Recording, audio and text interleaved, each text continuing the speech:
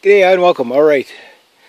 The strategy for the road rage van. Okay, so I'm still in cleanup detail. I'm still inspecting underneath. Uh, I'm going to have to jack this up to really get in underneath there. But uh, the worst spots are right up to the doors here.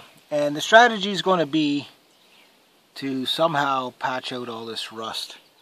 Uh, I don't know how I'm going to do that yet. Uh, obviously, there's going to be some cutting and welding. And it goes right up to the door. There's a big hole underneath both doors.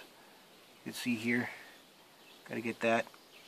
So once I get that cleaned up, then everything else is not so bad. The floor still doesn't seem like I haven't been right underneath the direct underneath it, but the floor doesn't seem quite so bad. Uh, brake lines. I can't really see the brake lines on this thing. I, I was looking at the. Uh, I thought I was looking at the brake lines earlier, but I wasn't. I was looking at. Um, I have a seat in this sucker. It's hot out today. Just going at things easily. I'm going to keep cleaning and whatever. Oil some stuff up.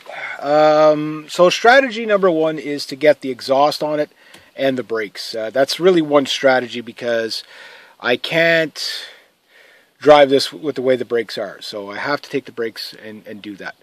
Uh, the plate is on it.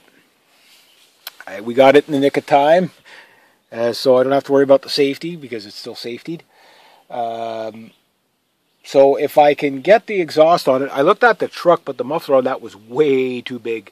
And it was so rusted that it, okay, it didn't have any exterior holes in it, but I'm sure, you know, you'd put all all that work and then next thing you know, uh, two months later, there's a hole in the exhaust again starting. So, hundred bucks for the exhaust.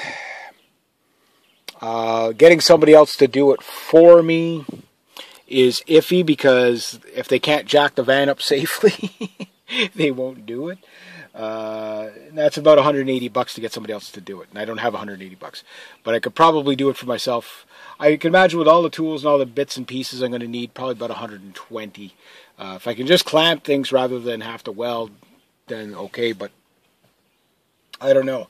Uh, so that's that's a, that's. Oh, here comes my brother. But that, that that's the first thing is basically the brakes and the exhaust. And I'll work on the bodywork as I go.